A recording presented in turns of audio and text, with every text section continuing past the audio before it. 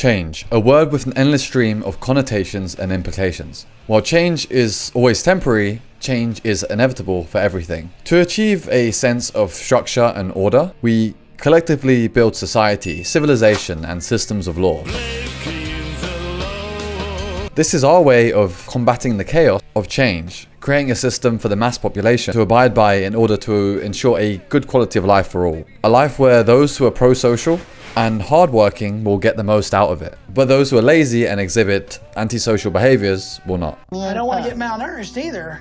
Do you look like you are malnourished? as they will be penalized or ostracized by society at large. When this dynamic is unbalanced and those hardworking masses feel oppressed or even cheated, it might lead to a revolution. In the case of politics, a revolution is when a radical change needs to be made by the masses if they feel oppressed by their overlords. Acknowledge me as emperor! It's an attempt to overthrow a current political regime, usually due to some kind of negligence or corruption. In the People Power Revolution in 1986 in the Philippines, an authoritarian government led by President Ferdinand Marcos was overthrown to pave the way for democratic system under Corazon Aquino, a time for more peace and prosperity. The success was marked by non-violent demonstrations across a 20-year period, it took two decades to overthrow corruption. Depending on who you ask, it's either a long stretch of time or a very short stretch of time.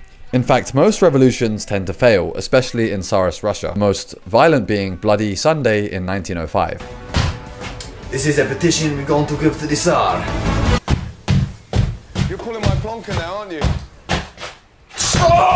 The point is, in pursuit of change, massive tolls must be taken, usually with human life. The cruelest part of change is that change isn't always the way that we envisioned it to be in the first place. People will pay extremely high costs to achieve that outcome. That is the nature of war and the nature of change, the product of which being revolution. Everyone has their own morality and acts upon so, and acts upon what they deem to be just which is why it can never be black and white. The color of morality is always shaped by the observer's perspective. Attack on Titan is a story which presents this concept masterfully by focusing on the main character of Eren and keeping him the same but slowly shifting the world around him, and simultaneously us, the viewers.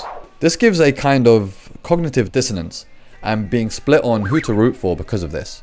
The only show to do something like this of this magnitude before was Code Geass in which the protagonist Lelouch vi Britannia is the one to seemingly change with the world around him being the same. The point is both these characters exist as forces of change in the stories that they inhabit, whereby focusing on challenging the status quo through any means necessary. Interestingly, despite the pair committing heinous crimes in the name of change and justice, they have a great support in the anime fanbase. These characters seemingly went from a place of powerlessness and oppression to having all the power in the world. So let's look at how this came to be by comparing the two characters of Eren Yeager and Lelouch vi Britannia by looking at the philosophy of change and revolution.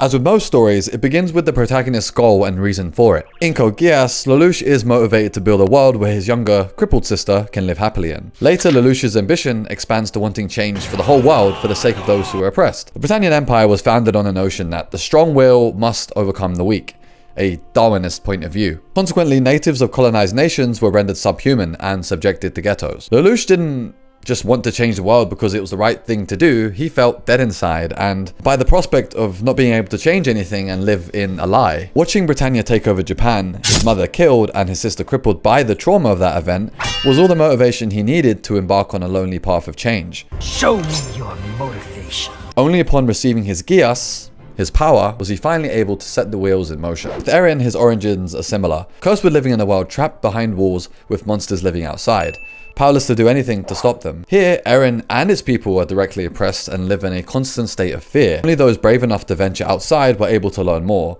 though fatalities were very high. From this, Eren was driven to reach freedom, a place where he could see the world without the threat of titans. For him, all of this reached a boiling point when the Titans breached the wall, and one coming in led to his mother being eaten by one of the Titans. Forced to helplessly observe from the sidelines, Eren gained first-hand experience on what true despair was, a despair he believed to be due to his lack of power.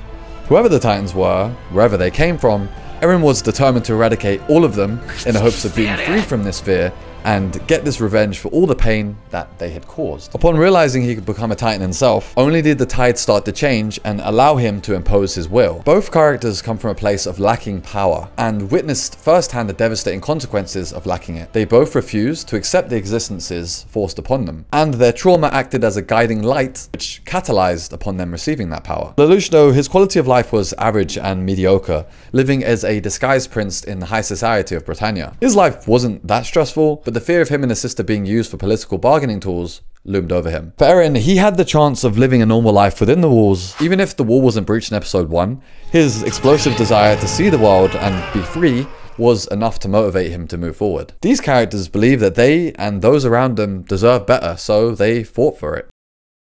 An important question to ask when analysing characters for themes of change is, what is their position in the world? What is the character's relationship to the wider world? How far do said characters need to go in order to achieve the ends that they seek? Due to Lelouch's seemingly average social status, since he is incognito, he continues to play the role of being a student by day and lead the Black Knight Crusade by night. Living a normal life, he will lower the chance of arousing suspicion, while having the heads up on what his adversary, Suzaku, might do. One could argue that Lelouch's goal would be impossible if not for his double life. If he disappeared while Zero appeared, someone would definitely have pieced it together. Wait, I know you. That's no mistake. You're a wanted man. it's You think so? pay. Let me make this easy for you all to understand. Acknowledge me as Emperor! Lelouch had many close calls, like with Villetta. Nature of a double life implies a base level of deception, all but which C2 was affected by, hence affecting all of his relationships. How can he have any emotional intimacy with all the lies acting as walls between him and other people? Geass was referenced as a power that leads users through a journey of solitude. To the Black Knights, Lelouch rather, Zero is viewed as a symbol of revolution and the one whom they risk their hopes in. To his fellow students, he is a lazy but intelligent member of their friendship group.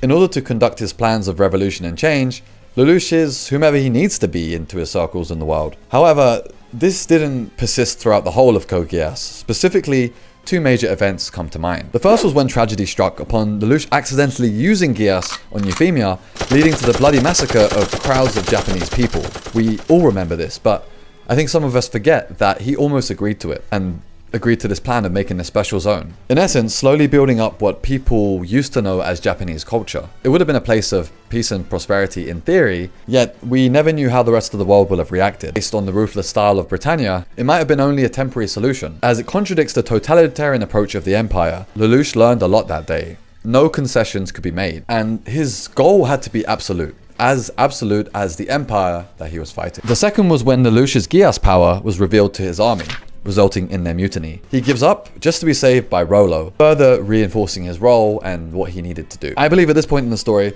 Lelouch was ready to become the enemy of the world. If he was able to be seen as this monster by his sister, then I guess the whole world would have followed. Even though it was a difficult road, he had to lie to the entire world in order to change it. With Eren, his role was seemingly ambiguous for most of the story. He begins as just another downtrodden member of society, wishing for a life of freedom. After transforming into a titan himself, his level of agency increases and subsequently his impact on the world, like the Scout's effort for freedom. However, as we learn Eren ha actually has access to the founding titan, he lives in both the past and the future, as trippy as that sounds. It made him essentially a god of the world, able to travel in time and directly affect outcomes in the story. Think Bill Murray's Groundhog Day and the Butterfly Effect. Eren had a lot more than just a role in the story, he was the story. It wasn't a case of Eren versus Wild, it was a case of Eren versus himself. By this I mean his crippling mental state following his contact with Historia. It was later revealed he did a lot of horrible things to achieve his final result. As long as he met with Zeke, nothing could have stopped him. I mean, Eren smiled maybe twice in that point in the story. The defining contrast between Eren and Lelouch is control, with Lelouch's relatively lacking compared to Eren's. A lot of his success hinged on his self-belief and his conviction. When Lelouch was faced with large obstacles in his plan, he was able to adapt and overcome them with his intellect and clear mind. Eren's obstacles were internal, cursed with knowledge and doomed in isolation. His role in the narrative was fighting his own desire for the sake of change. Lelouch did this too, but on a different scale. Both made huge sacrifices. Two quotes pop out to me when analysing these shows in relation to sacrifice. The first was when Armin said, those who can't sacrifice anything can't change anything. And when Lelouch said, you can't change the world without getting your hands dirty. These quotes highlight the necessity of exchange in order to achieve change, as is the main theme of Fullmetal Alchemist Brotherhood of the theory of equivalent exchange. The distinctive factor is one's awareness of this fact, and how that awareness is present in their behavior. Lelouch is a shining example of this action. He knows that he must cast his own conscience aside in order to play the role of the victim and subsequently witness the betrayed eyes of all of his loved ones to achieve peace. For better or for worse, Lelouch knew that he would have to embark on the path of blood to get anywhere with his plans. Lelouch sacrificed his love, his relationships, his family, and ultimately his own life in order to have all the world's hatred channeled upon him. For Eren in Attack on Titan, the whole thing is based on sacrifice. In every season, people die, either from titans or from one another. In the beginning, the scouts would willingly risk their lives in order to venture to the outside world just for a shred of understanding. Obviously, those that underwent those missions knew what they were signing up for, but did Eren? He was referenced by Jean as a suicidal maniac and for good reason. He would charge recklessly into battle without really considering the risks. He was just obsessed with killing them all. How aware was he of the sacrifices that he needed to make in order to make his goals a reality? Did his awareness expand upon becoming the Attack Titan to then having the Founder's power? Eren sacrificed a lot of people in order to reset the world. Mass genocide, in fact. Eren pointed out that there was no other way to get this outcome. So much so that he had let his own mother get eaten in the process a very real sacrifice that he was aware of. Only that, he had to become cold and emotionally cut off from the people he loved the most, being Armin and Mikasa. Not to mention play the role of the most hated man in the world, very similar to Lelouch. I would say that the key difference in the two characters was their perspective. Since Eren and Lelouch were vastly different in their strategies, Lelouch had a rough plan in his mind, but needed to adapt to the circumstances around him, like things he didn't anticipate, like the Geass evolving and the Black Knights turning on him. His sacrifices came one after the other, and having C2 as his confidant kinda helped him through it a little bit. Eren had no confidant. Maybe he could speak with Ymir from time to time, but for all intents and purposes, he was alone. Not only that, but his powers came to him from a incomprehensible point of view. He simultaneously inherited the memories and ancestors of his past and the future, meaning that his perception of time is in his own league and just completely independent of others. Type of solitude which Lelouch couldn't even begin to understand. It's hard to say who sacrificed more, but due to this fact, I would say that Eren had to experience a lot more pain in order to achieve his goals. At face value, Lelouch and Eren couldn't be more different. Lelouch is reserved, calm, intelligent.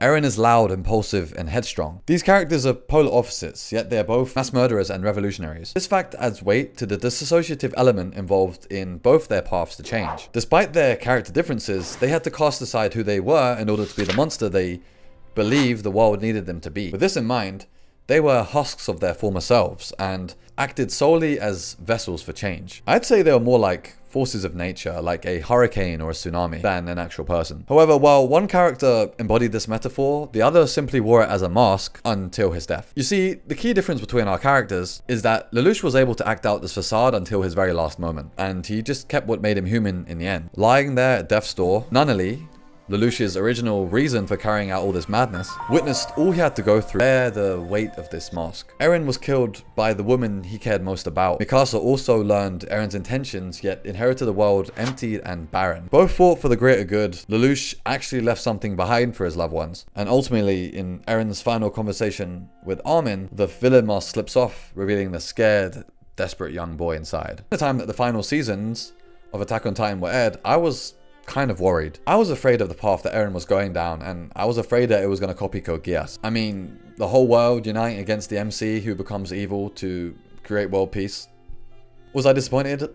Well, not really. Yeah, it ended up following the same format, but in essence, it was quite different. I feel like Attack on Titan did its own thing. Let me explain. We all know that Lelouch at some point, maybe after the Black Knight's betrayal, decided to fully embrace being everybody's enemy. Once he achieved that, he planned his own demise by his best friend in order for him to bear the rest of the burden. Pretty simple stuff, relatively speaking. In Attack on Titan, Eren doesn't really act like the villain, he just kind of is, and just kind of make tries to make his own peace, I suppose. The key contrast is that for a large portion of the story, Eren is motivated by his own revenge and freedom. Upon realizing that the two are intertwined, he goes full throttle to achieve his plan of the Rumbling to commit genocide and wipe out the whole planet, everyone that wasn't related to him. Here's the interesting part. When confronted with all he did, Eren just says, I don't know. What? That was a very nihilist spin, don't you think? With us bearing witness to the cycles of war which continued after the events of the show, Eren just supported his own team and just kind of pieced out. Lelouch at least tried to minimize some of the bloodshed. We know that Zero Requiem created indefinite peace. Probably not. As we know from the Ragnarok connection that his father Charles imposed, what's the point of peace if there's no such thing as tomorrow? And despite their differences, both characters believed that fighting for a better tomorrow was worth it, through fighting for evolution and change. I've been SirLantz, and have a great day.